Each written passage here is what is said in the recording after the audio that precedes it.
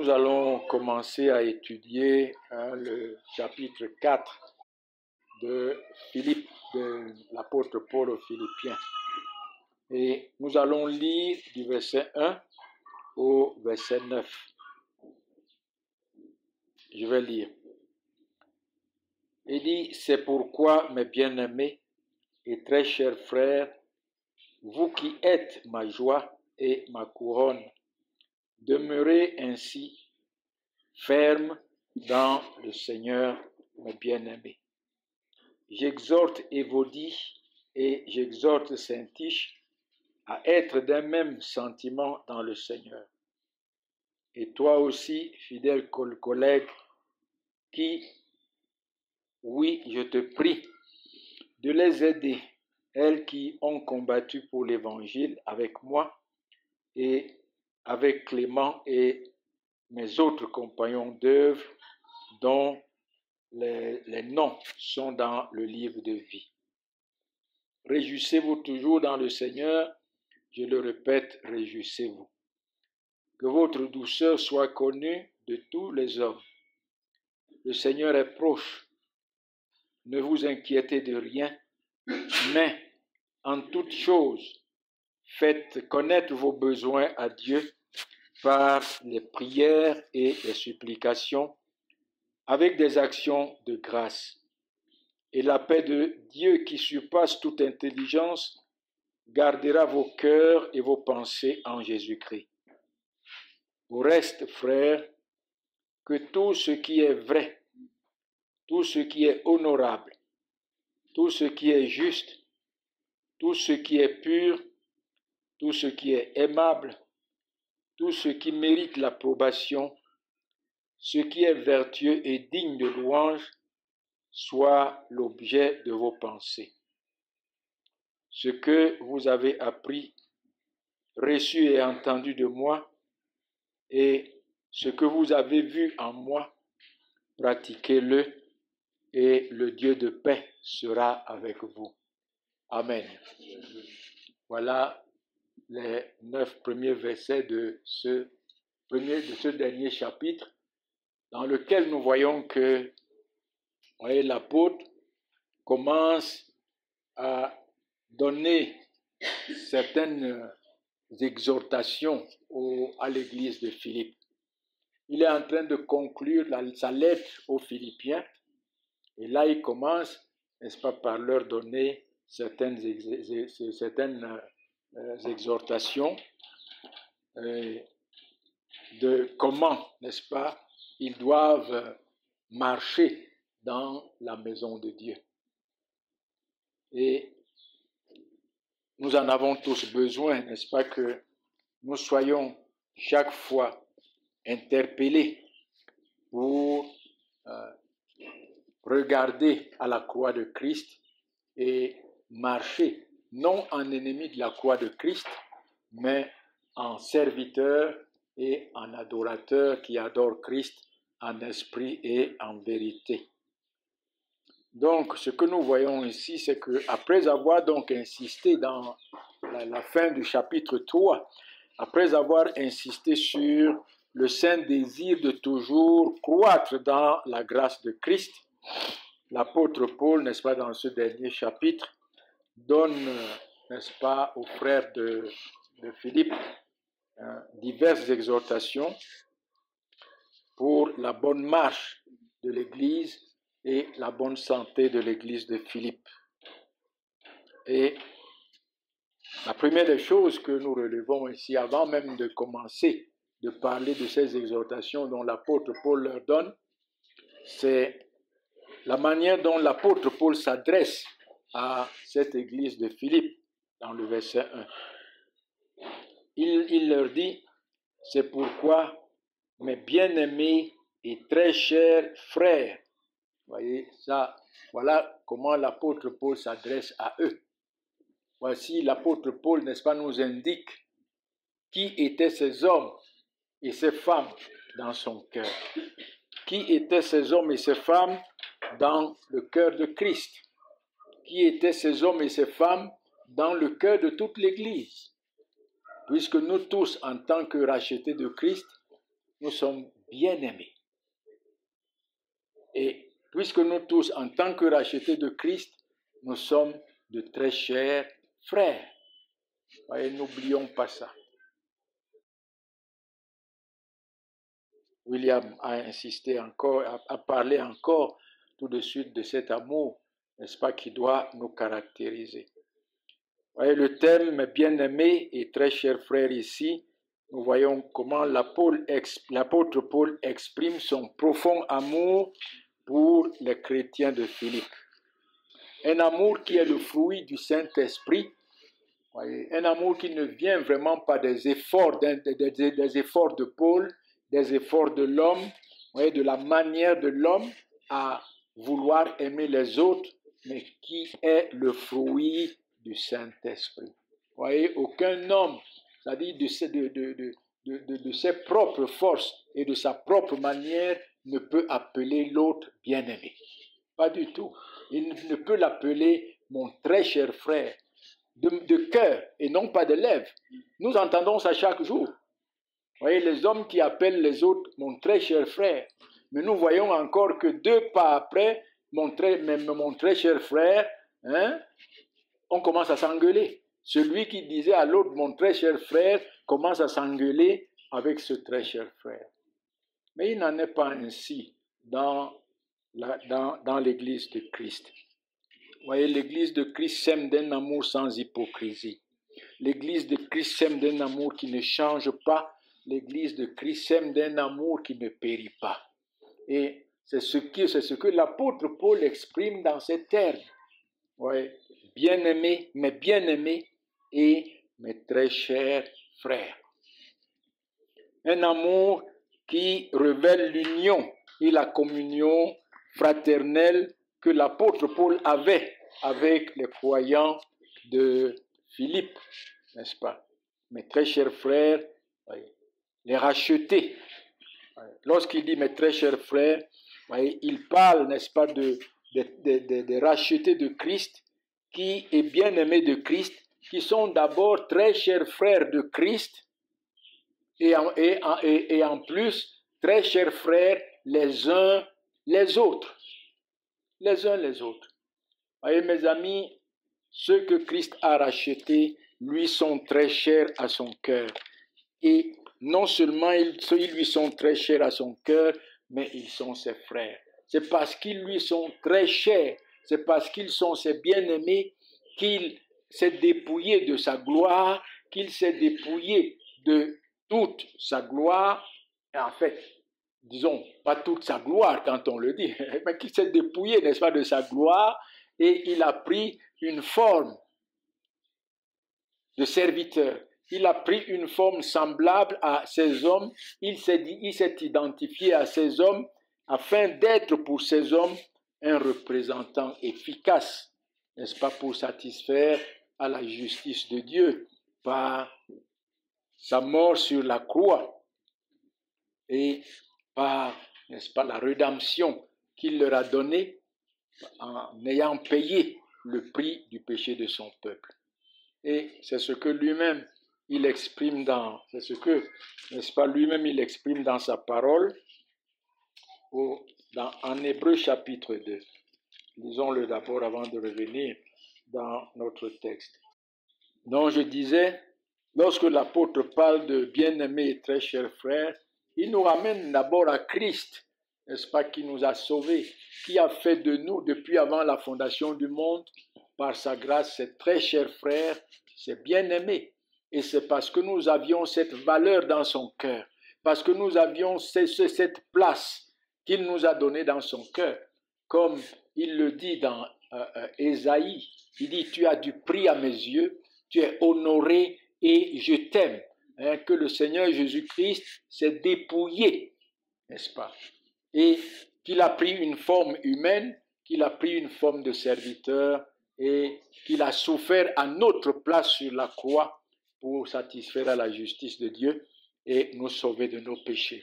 Et c'est ce qu'il exprime ici dans euh, Hébreu chapitre 2, verset 10 à 12. Il dit, il convenait en effet que celui pour qui et par qui sont toutes choses, et qui voulait conduire à la gloire beaucoup de fils, et élever à la perfection par les souffrances le prince de leur salut.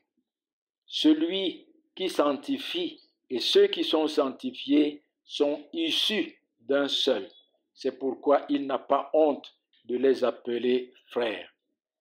Lorsqu'il dit, j'annoncerai ton nom à mes frères, je te célébrerai au milieu de l'assemblée. Amen. Voyez, très chers frères, à Christ, bien-aimés de Christ, d'abord. Et c'est parce que nous sommes très chers frères de Christ et bien-aimés de Christ que nous sommes les uns les autres bien-aimés et très chers frères. Et voyez cet amour, ce grand amour, ce profond amour, le Seigneur Jésus-Christ nous l'a révélé, il nous l'a démontré en prenant notre place sur la croix, comme il dit dans Jean 10, dans Jean 15, verset 13. Il n'y a pas de plus grand amour que de donner sa vie pour ses amis. Et l'apôtre Paul nous montre ici quelque chose. Il était prêt à donner sa vie comme Christ a donné sa vie pour nous. Il était prêt à mourir pour l'Église. Il était prêt à tout abandonner. Il était prêt à tout, à renoncer à tout. Il était prêt à tout perdre pour l'Église. Et même d'ailleurs, nous allons le voir, il l'a fait. Il l'a fait. Et cela ne se limite pas à Paul et à Christ. Je le dis toujours ici. Nous-mêmes, nous devons être prêts. Je dis toujours prêts à tout perdre, toujours prêts à tout donner, toujours prêts à renoncer à tout pour nos frères. La place qu'ils occupent, qu'ils doivent occuper dans notre cœur doit être une place de choix. L'Église de Christ doit avoir, l'Église de Christ doit être doit avoir, doit avoir du prix dans nos cœurs. L'Église de Christ doit être honorée dans nos cœurs. L'Église de Christ doit être aimée dans nos cœurs au-dessus de toute autre chose ici-bas. Voyez, c'est ça. Et c'est pourquoi nous ne devons pas vraiment nous aimer des lèvres, c'est de l'hypocrisie, mais de cœur de tout cœur. Comme le Seigneur Jésus-Christ dit, aimez-vous les uns les autres comme je vous ai aimé. Comme je vous ai aimé. Voyez, ces hommes étaient pour Christ et pour et, ces, hommes, n'est-ce pas, ces frères, hein, ces bien-aimés, hein, comme je le disais, sont nés ou bien étaient nés des souffrances de Christ, hein, portant leurs péchés, régénérés par l'Esprit de Christ et unis dans le corps de Christ, l'Église, s'aimant d'un amour, n'est-ce pas, d'un amour de Christ, et non pas d'un amour d'homme ordinaire, mais d'un amour de Christ. Comme le Seigneur les a aimés. Voyez, mes amis, c'est très, très important. Et je dis bien s'il y a quelque chose qui manque aujourd'hui à l'Église que nous voyons là, entre guillemets, voyez, là dehors, c'est un véritable amour les uns les autres. Voyez, les hommes, hein, il y a tellement de séduction, il y a tellement de mouvements, mais ce qui devait faire euh, qu'est-ce que je dis, le fondement hein, de ce mouvement, de ce mouvement. L'amour, on ne le voit pas. Mais pourquoi? Parce qu'en réalité, ce n'est que de la religion pure. Voyez, ce n'est que de la religion pure. C'est la chair qui est satisfaite, mais il n'y a pas de vie. Voyez, à travers tout ce mouvement, la chair est satisfaite, mais il n'y a pas de vie. Et là où il n'y a pas de vie, il n'y a pas d'amour propre. Il n'y a pas d'amour vrai. Il n'y a pas d'amour profond pour les autres. Et nous sommes privilégiés, n'est-ce pas, nous qui sommes en Christ? Voici ce que sont les élus de Christ. Hein, quelle que soit leur faiblesse et leur manquement les uns envers les autres, ils s'aimeront toujours de l'amour de Christ et ils resteront toujours dans la communion de Christ. Dans la communion de Christ. Voyez, mes amis, ne regardez pas les faiblesses d'un tel, d'un tel, les manquements d'un tel, d'un tel, et vous dites euh, non, vraiment, c'est. Hein, je ne peux pas être en communion avec lui, je ne peux pas, je ne peux pas. Mais souvenez-vous, qui êtes-vous pour que Christ soit en communion avec vous? Qui êtes-vous pour que Christ vous aime? Qui êtes-vous pour être uni à Christ? Marchons dans les pas de Christ. Marchons dans les pas de Christ. Et aimons-nous de l'amour de Christ, de cet amour profond que l'apôtre Paul exprime ici pour les chrétiens de Philippe, et non pas seulement pour les chrétiens de Philippe, mais pour tous les chrétiens du monde. Pour tous les chrétiens du monde. Mais à travers l'église de Philippe. Une autre chose, et vous pourrez lire cet amour dont, l'apôtre Paul parle ici dans 1 Corinthiens chapitre 13. Donc, une autre chose que nous voyons dans notre texte, que dans la, manière dont l'apôtre Paul s'adresse à l'église de Philippe, ces hommes étaient sa joie et sa couronne. Et là encore, l'apôtre Paul exprime en réalité la joie hein, de tout prédicateur de l'évangile, de tout prédicateur de l'évangile. Là où vous êtes là, vous qui venez là pour écouter la parole, qui êtes attachés à Christ, vous êtes ma joie. Ma joie. La joie des véritables serviteurs de Dieu ne vient pas des hommes. Leur honneur ne vient pas, de, ne vient, ne vient pas des hommes. Leur gloire ne vient pas des hommes. Leur couronne ne vient pas des hommes. Mais de la grâce de Christ qui a béni leur œuvre et qui leur a donné hein, des hommes et des femmes qui sont sauvés par la grâce de Christ. Et c'est très important. Aujourd'hui, beaucoup de serviteurs de Dieu, en fait, il faut dire toujours entre guillemets, hein, ces hommes, hein, tout ce qui les pousse, c'est leur ventre. C'est les grandeurs de ce monde, les honneurs de ce monde, n'est-ce pas, les, gloires de ce monde, les richesses de ce monde. C'est ce qui fait leur joie. Enlevez leur ces choses et ils meurent le lendemain d'une crise cardiaque. Enlevez leur, enlevez leur, leur acquis. Demain, ils deviennent fous dans la rue, ils commencent à manger dans les poubelles. Parce qu'en fait, c'est là leur gloire. Leur gloire. Mais la gloire des serviteurs, des véritables serviteurs de Dieu, est Christ lui-même. Leur joie est Christ lui-même. Leur couronne est Christ lui-même. Et leur honneur est Christ lui-même. Et à côté de cela, ce que Christ leur a donné de sauver, en fait, ce que Christ a sauvé dans leur ministère.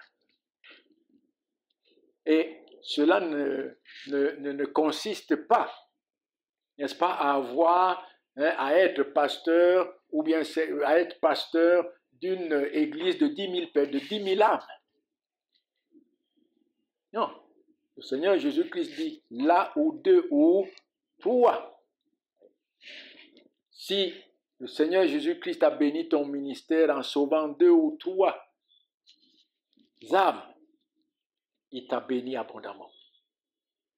Il t'a béni abondamment voyez, naturellement, et l'apôtre Paul dit ça pourquoi? Ces hommes étaient la joie et la couronne de Paul. Pourquoi? Parce que naturellement, aucun homme n'est sensible à l'évangile de Christ à cause du péché. Les hommes sont morts dans leur péché et ils sont ennemis de Christ, ennemis des choses de Christ. Ils rejettent, ils haïssent la parole de Christ, ils haïssent Christ. Et à cause de cela, ceux que Dieu attire dans le ministère du serviteur de Dieu font sa joie et ils font sa couronne. Voyez Parce qu'ils voient en cela la bénédiction de Dieu. Et deuxièmement, voyez, l'apôtre Paul s'exprime ici dans une, profonde gratitude hein, à Dieu qui l'a consolé dans ses souffrances, dans ses persécutions et dans l'opposition qu'il a soufferte pendant tout son ministère. De tous les apôtres, il n'y a pas un qui a souffert comme Paul. Il n'y a pas un qui a souffert comme Paul. Et je dirais que sans entrer, n'est-ce pas, dans euh, les détails, nous lisons, simplement 1 Corinthiens, non, 2 Corinthiens 11. Une simple lecture. Vous lirez aussi pour vous-même dans 2 Corinthiens chapitre 6, versets 3 à 10. Voici comment l'apôtre Paul parle de ses souffrances dans 2 Corinthiens chapitre 11. Et ici, il est en train de, ramener l'église de Corinthe à Christ parce que les faux prédicateurs juifs sont passés et ils ont commencé à s'aimer leurs graines. Et l'apôtre Paul commence donc ici à exhorter les frères de, de, Corinthe, hein, de l'église de Corinthe, à revenir dans la simplicité de l'évangile de Christ, à revenir dans la simplicité de Christ. Et il dit, à partir du verset, comme je disais, verset 21, lisez tout, tout, tout ce chapitre, vous allez, vous, allez comprendre, vous allez comprendre à travers le contexte. Il dit, j'ai honte de le dire, verset 21, nous avons montré de la faiblesse. Cependant, tout ce que peut oser quelqu'un, je parle en, en insensé, moi aussi je l'ose. Sont-ils hébreux? Moi aussi. Sont-ils israélites? Moi aussi. Sont-ils de la postérité d'Abraham? Moi aussi. Sont-ils ministres de Christ? Je parle en termes extravagants. Je lui suis, je le suis plus encore par les travaux, bien plus par les coups, hein, les coups qu'il a reçus. Il a été battu plusieurs fois. Bien plus par les emprisonnements, bien plus souvent en danger de mort. Cinq fois j'ai reçu des Juifs 40 coups, moins un. Trois fois, j'ai été battu de verge. Une fois, j'ai été lapidé. Trois fois, j'ai fait naufrage. J'ai passé un jour et une nuit dans l'abîme, fréquemment en voyage. J'ai été en péril sur les fleuves, en péril pour la part, euh, de la part des brigands, en péril de la part de ceux de ma nation, en péril de la part des païens, en péril dans les villes en péril dans les déserts, en péril sur la mer, en péril parmi les faux frères. J'ai été dans le travail et dans la peine, exposé à de nombreuses veilles, veilles. À la jeûne, non, à la faim, à la soif, à des jeûnes multipliés, au froid et à la nudité, et sans parler d'autre chose je suis assiégé chaque jour par les soucis que me donnent toutes les églises, qui est faible, qui est faible que je ne sois faible, qui vient à tomber que je ne brûle, qu'il soit glorifié, euh, s'il faut se glorifier, c'est dans ma faiblesse que je me glorifierai. Dieu est le Père du Seigneur, Dieu qui est le Père du Seigneur, du Seigneur Jésus, et qui bénit éternellement sait que je ne manque pas. À Damas, le gouverneur du roi Arétas faisait garder la ville des Damasiens pour se saisir de moi. Mais on me descendit par une fenêtre euh, dans, dans une corbeille le long de la muraille et j'échappais et j'échappais à leurs mains. Voilà comment l'apôtre Paul rappelle à ces hommes de Corinthe les souffrances qu'il a souffertes, non seulement pour eux, mais pour toute l'Église. Et il s'étonne maintenant que ces hommes reçoivent hein, et acceptent les faux prédicateurs, acceptent le, faux enseignement hein, de, ces juifs qui tendaient à les ramener dans la loi et non pas à les amener à se reposer dans la justice de Christ et dans l'obéissance parfaite de Christ, qui ont satisfait à Dieu pour le salut de son peuple. Vous voyez, c'est pourquoi Paul dit, sont-ils juifs Je le suis aussi. Sont-ils hein, hébreux Je le suis aussi. Sont-ils de la postérité d'Abraham Je le suis aussi. Et, voyez, mes amis, nous voyons ici que l'apôtre Paul, euh, lorsqu'il dit euh, que les chrétiens de, de, de Philippe étaient sa joie et sa couronne, il est en train d'exprimer en fait une profonde gratitude à Dieu qui a consolé, qui l'a consolé dans ses souffrances pour Christ, en bénissant son ministère pour le salut de ses élus. Et non seulement ceux de Philippe, comme je le disais, mais partout où il est passé prêcher, hein, au milieu de l'opposition, ou bien malgré l'opposition, malgré la persécution et malgré toutes les embûches que les uns et les autres lui tendaient. Dieu l'a secouru dans en, toutes ces choses, il a échappé en toutes ces choses et Dieu a béni son ministère. voyez, c'est comme quelqu'un qui travaille un vaste champ. Il a travaillé, il a transpiré, il a souffert. Il a sémé tout le champ. Il a mis tous les engrais possibles. Mais les parasites hein, et les oiseaux et les animaux sont venus, ils ont ravagé le champ. Il a bagarré, bagarré, mais à la fin de la récolte, il voit quand même. Hein, il voit quand même. Hein, il récolte. Au moment de la récolte, je veux dire, au moment de la moisson, il fait quand même une récolte. Et à travers, lorsqu'il regarde cette récolte, cette récolte qu'il a faite, et qu'il se souvient de toutes les souffrances dont il a subi, il a de la joie. Il se, il se, souvient de comment le soleil l'a frappé sur ce champ, comment est-ce que la pluie l'a frappé sur ce champ, sur ce champ, comment est-ce que les parasites ont détruit Hein, euh, euh, euh, les, semences, comment est-ce que les oiseaux ont picoré, comment est-ce que les animaux. Mais en fin de compte, lorsqu'il regarde ce qu'il a, ce que Dieu a béni, hein, ce que Dieu lui a donné, il a de la joie. En se souvenant de cette souffrance, son cœur est plein de joie, son cœur est plein d'allégresse. Son cœur est plein de repos et de paix parce que Dieu a béni. Et c'est ça que nous voyons ici lorsque l'apôtre Paul dit, vous êtes ma joie, vous êtes ma couronne. Vous êtes ma couronne.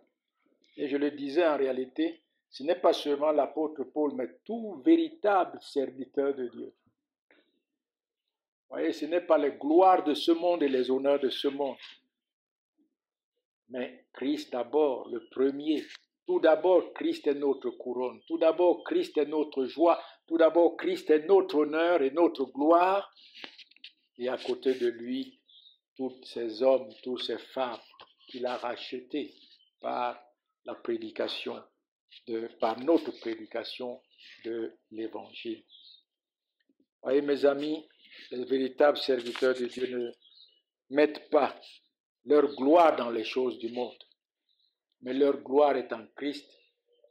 Leur gloire est dans la bénédiction que Christ leur a donnée dans leur ministère. C'est ça que l'apôtre Paul exprime ici. Et ce n'est pas seulement les, serviteurs de Dieu. le Seigneur Jésus-Christ lui-même, revenons à notre Seigneur Jésus-Christ. Combien cet homme a souffert, combien cet homme hein, a été humilié, combien cet homme a été brisé. Hein? Mais, en fin de compte, n'est-ce pas, ceux pour qui il est mort sur la croix, il les a parfaitement et pleinement sauvés. Son Église est sa joie, son Église est sa couronne, son Église est sa gloire. Et c'est ce que nous lisons dans, euh, Ésaïe. Ésaïe, 53. Le Seigneur, la, la, parole de Dieu dit, à partir du verset 10, Ésaïe 53, lisons. Il dit, il a plu à l'Éternel de le briser par la souffrance. Après avoir livré sa vie en sacrifice pour le péché, il verra une postérité et prolongera ses jours. Et l'œuvre de l'Éternel prospérera entre ses mains. À cause du travail de son âme, il rassasira ses regards par la connaissance de mon serviteur. Mon serviteur juste justifiera beaucoup d'hommes et il se chargera de leur iniquité. Voyez, nous voyons comment est-ce que il a plu à Dieu de, briser le Seigneur Jésus-Christ par la souffrance, étant le substitut, le représentant de son peuple, hein, par la souffrance à cause du péché de son peuple sur la croix. Mais nous voyons ici quelque chose, n'est-ce pas? Il verra une postérité et prolongera ses jours. La joie de Christ, après toutes ces souffrances, c'est quoi? C'est ce peuple des élus qui est né, n'est-ce pas, de ses entrailles, de ses entrailles dans ses souffrances.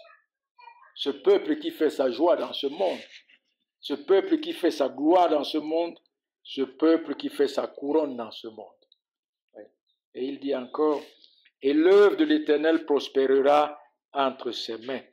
Voyez, tous ceux que Christ a sauvés il les a sauvés parfaitement et certainement, et aucun ne périra jamais. Voilà la gloire de, voilà là où nous voyons la gloire de Christ. Là où nous voyons, n'est-ce pas, la joie, de, la, joie qui anime le Seigneur Jésus-Christ. L'ennemi est là avec toutes ses séductions, mais aucun de ceux que le Seigneur Jésus-Christ a sauvés ne sera perdu. Perdu. Ça fait la joie de notre Seigneur Jésus-Christ, ça fait sa gloire, cela fait sa gloire et cela fait son honneur. Voyez? Et il dit, à cause du travail de son âme, il rassasira ses regards. Oui, lorsqu'il regarde son peuple, sauvé de toute langue, de toute, de tribu, de toutes les nations, euh, euh, euh, de tout peuple et de toute tribu, et qui sont aussi nombreux que le sable de, de la mer. Il est rassasié, il est satisfait. Il est satisfait. Et de l'œuvre, il est satisfait de l'œuvre qu'il est venu accomplir dans ce monde. Et il dit par sa connaissance, mon serviteur juste justifiera beaucoup d'hommes et il se chargera de leur iniquité. Oui, comment est-ce que ceux-là qu'il est venu sauver, ceux-là qui font sa joie, ceux-là qui font sa gloire dans ce monde et son honneur dans ce monde, sont-ils sauvés? C'est par la connaissance de Christ, la révélation de Christ à leur cœur. Il dit, Or la vie éternelle, c'est qu'ils te connaissent, toi le seul vrai Dieu et celui qui tu as envoyé, ton Fils, Jésus-Christ. Comment est-ce que nous arrivons donc à cette connaissance? C'est par la révélation de Christ au cœur de ceux qu'il est venu sauver. Voyez mes amis, c'est ça qui fait c'est ça qui faisait la joie de Paul. C'est ça qui faisait la couronne de Paul. Et c'est vous, moi et toute l'Église qui faisons la joie et la couronne et la gloire de Christ dans ce monde. Et une dernière chose que nous voyons, sinon la première des exhortations que l'apôtre Paul relève ici, la première des exhortations. Premièrement, nous avons vu, n'est-ce pas, la manière dont l'apôtre Paul s'adresse à l'église de Philippe. Et deuxièmement, sinon, et maintenant, n'est-ce pas, la première des exhortations que l'apôtre Paul relève dans notre texte. Revenons dans Philippiens, chapitre 4. Il dit, Demeurez ainsi ferme dans le Seigneur, mes bien-aimés. Demeurez ainsi ferme dans, le Christ, dans le Seigneur, mes bien-aimés. Et lorsqu'il parle de demeurer ainsi ferme, c'est, il veut dire tout simplement, il veut nous exhorter simplement, premièrement, voyez, à rester attaché à notre Seigneur et Sauveur Jésus-Christ. Parce que lorsqu'on parle d'une demeure, on parle de là où on, vit, de là où on reste. Et il parle ici du fait que nous devons rester attachés à Christ, rester, hein, demeurer, demeurant, nous, nous reposant toujours, n'est-ce pas, dans la joie, de, dans, la, dans la justice de Christ. Comme il, comme il le dit dans le chapitre 3. Il ne se présente pas à Dieu avec sa propre justice, mais avec la, justice de Christ. Et c'est là qu'il veut demeurer. Donc, il nous exhorte à rester attachés à Christ, à nous reposer dans la justice de Christ, à avoir Christ comme notre trésor et notre gloire dans ce monde, à trouver en Christ une paix parfaite. Vous voyez, c'est ça, demeurer en Christ. Trouver en Christ une paix parfaite, trouver en Christ un repos parfait, hein, trouver en Christ une assurance parfaite, trouver en Christ une sécurité parfaite. Parce qu'il est notre sécurité, c'est là notre demeure. C'est là que nous restons.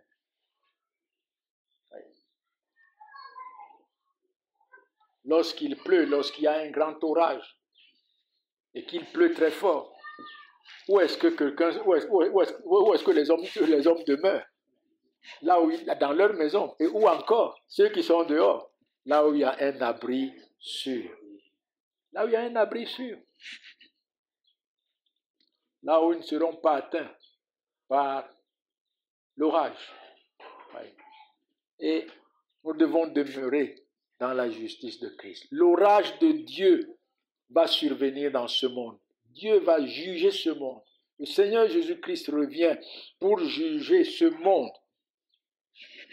et seuls ceux qui se trouveront attachés à lui et se reposant dans sa justice seront sauvés. Et qui sont-ils? Son Église. Ces hommes, ces femmes qu'il a aimés depuis avant la fondation du monde et pour qui il est mort sur la croix? Voyez Et deuxièmement, il dit, lorsqu'il dit demeurer, hein, demeurer ferme dans le Seigneur, mes bien-aimés, il veut encore dire, tenez ferme et persistez hein, dans le saint désir de toujours croître dans la grâce de Christ, dans la connaissance de Christ, dans l'amour pour Christ. L'aimant au-dessus de toute autre chose, quels que soient les temps, les moments, les, circonstances, quels que soient les changements, croissant, enraciné, affermi dans le Seigneur Jésus-Christ. Dieu bénisse sa parole dans nos cœurs. Amen. C'est ce, c'est ce que nous souhaitons. C'est ce que nous voulons être. Et c'est ce que nous sommes en Jésus-Christ. Amen. Voilà donc le message que j'ai sorti de ce premier, ce premier verset pour notre édification ce matin. Nous chantons le 314, notre 344. Mon Jésus, je t'aime, comme lui-même nous a aimés.